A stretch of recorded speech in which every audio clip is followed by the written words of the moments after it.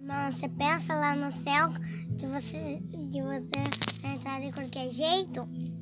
Não, não, não. A Bíblia diz que Jesus vem buscar um povo zeloso, zeloso exclusivo e de boas obras. Jesus não vem buscar um povo de qualquer jeito. Ele quer um povo diferente. Uma igreja diferente do mundo. Nós tem que ter a diferença nessa terra.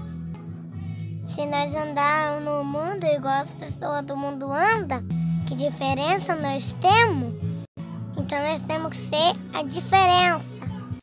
Hoje em dia, as pessoas só querem benção, benção, benção, benção, só ficam correndo atrás de benção. Mas o evangelho não é assim, não, não, não, não, não.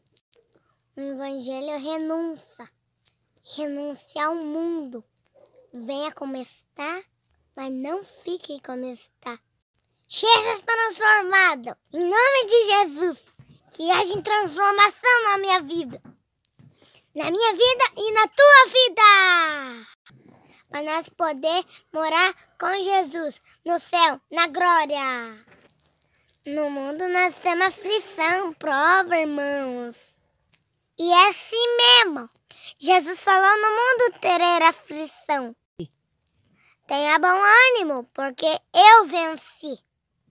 Vocês também vão vencer, disse Jesus. A Bíblia diz as aflições desse tempo presente não dá para se comparar com a glória do Senhor há de ser revelada em nós.